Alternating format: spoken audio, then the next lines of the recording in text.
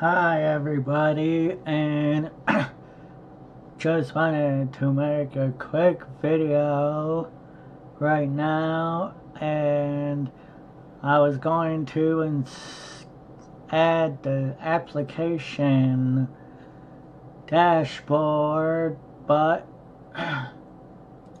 it wasn't in here. If you go to add widgets it wasn't in here. Even the widget wasn't even in here. I went to um, get new widgets,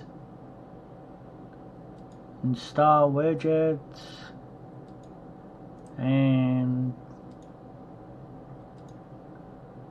I went to download new widgets and it wasn't even in here so I was like where is it?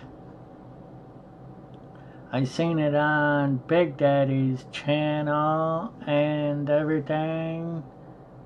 And I was like, how do I get it? So I searched and everything, and apparently Antergos KDE doesn't have it out of the box. So if you guys are running KDE and you guys can't get the application dashboard out of the box, just go to either Pamac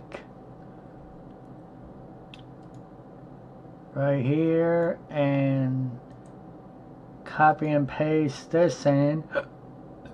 Right here.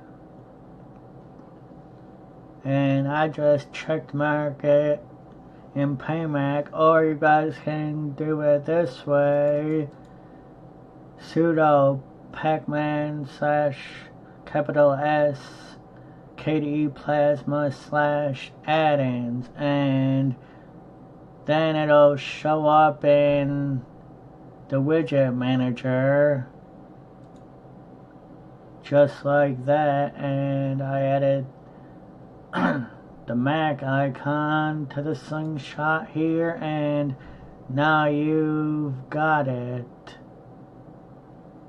right here. So that's just quick video on how you can get the application dashboard in KDE Plasma 5. Thank you guys for watching and please comment, like, and subscribe and give a big thumbs up if you wish and private message me, PM me if you guys need to ask anything. Thank you guys very much and have a great Thanksgiving. See you guys on the next video and bye.